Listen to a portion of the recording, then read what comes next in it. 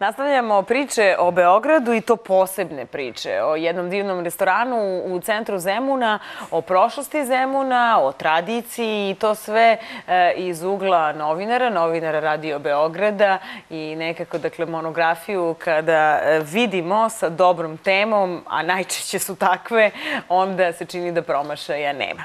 Sa mnom u studiju je gospođa Elizabeta Beta Arsenijević, koja je autor monografije o restoranu Šaran, ali dakle, ova monografija krije i još mnoge druge tajne. Dobrodošli.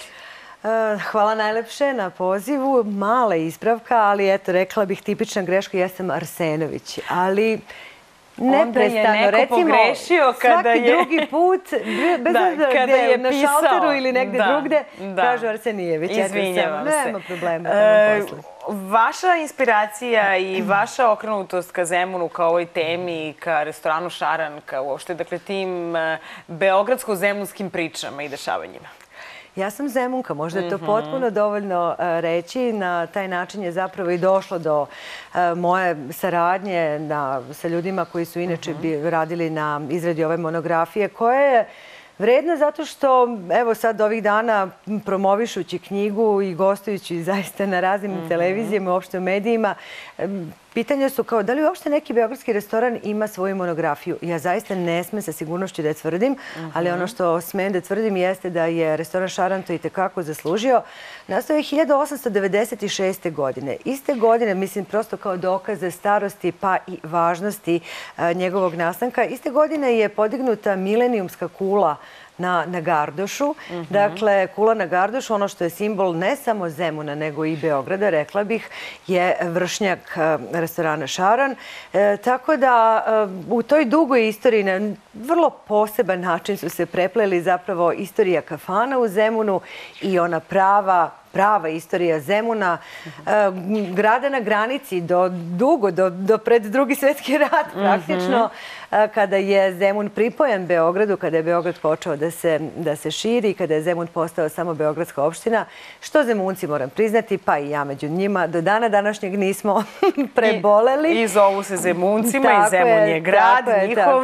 I zato ja vrlo često kažem, pozivam zapravo ljude da dođu u Zemun, jer na taj način imaju šansu da budu turisti u sobstvenom gradu i da iz jednog grada dođu u drugi grad, a tu je blizu. Da, što vam je bila najinteresantnija koja priča e, upravo dakle o Zemunu, tog doba o Zemunu danas, o svojoj onoj građi koju ste pripremali za Evo, knjiga koju e, sada pokazujete gledalcima sastoji se iz 11 nekih malih poglavlja.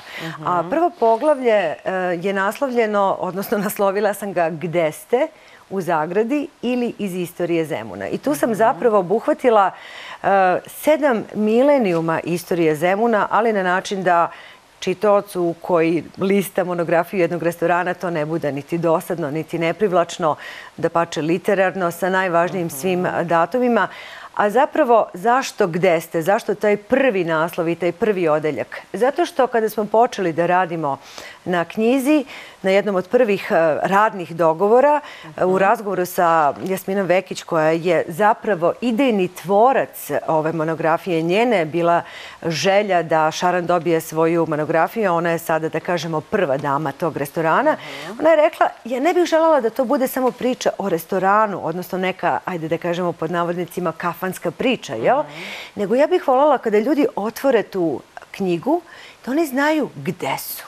I ta njena rečenica da oni znaju gde su je zapravo mene povela i zato prva rečenica glasi najpogrešniji odgovor koji možete da date nekome na pitanje gde ste kada ste u Zemunu, jeste da kažete da ste u Beogradu.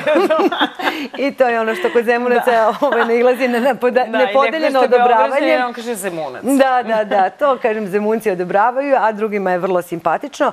Tako da, eto, recimo, to je bilo nešto od čega sam počela. Međutim, kako Zemun nije samo ta prebogata istorija, kažem, grada koji je do 1918. godine bio na granici, koji je pripadao Austro-Ugrskoj, za razliku od Beograda, koji je bio po Turskom, pa posle oslobođen, kasnije, dakle, Zemun tek posle Prvog svjetskog rata pripojen.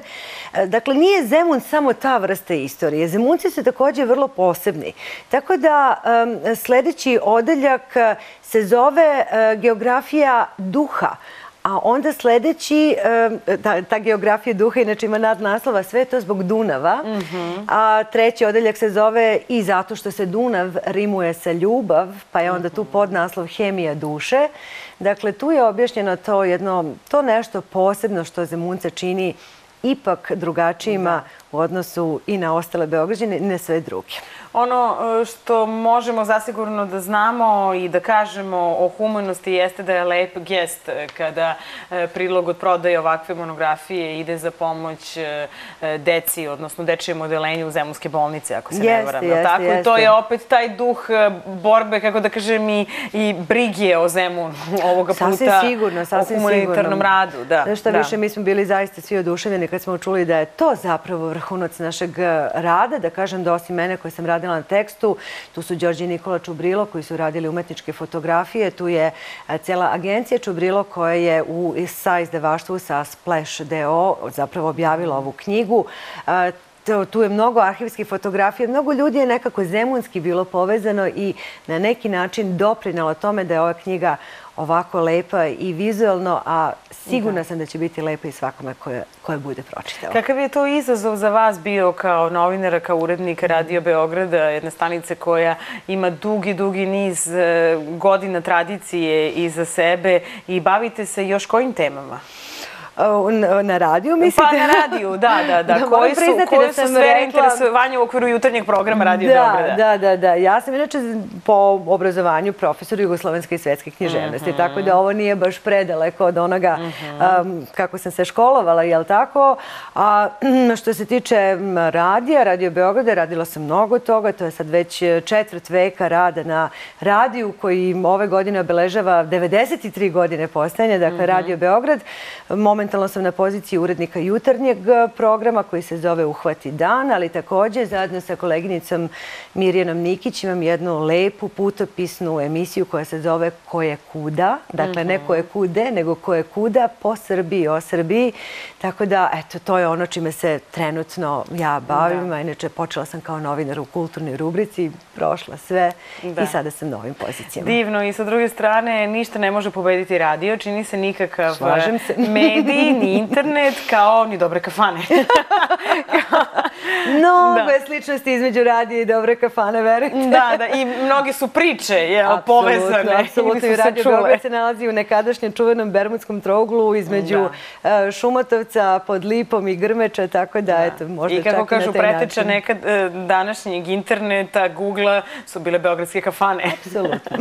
Hvala puno na izdvojenom vremenu. Evo, dakle, e, divna je preporuka za sve zainteresovane. Gde mogu monografiju da kupe? Za sada samo u restoranu. Mhm. Dakle, što, dakle, samo moram da isteknem, nikoga ne obavezuje da mora da konzumira nešto u restoranu, prosto može da dođe da, kupi. Da kupi, da. A onda ćemo vidjeti dalje kako će ići distribucija. Hvala puno i puno sreće. Hvala vama. E, a svakako, dakle, još jednom da pomenemo da monografija u restoranu Šaran, e, dakle, ima humanitarni karakter, to jest prilog od prodatih monografija ide e, kao pomoć dečijem odelenju Zemunske bolnice.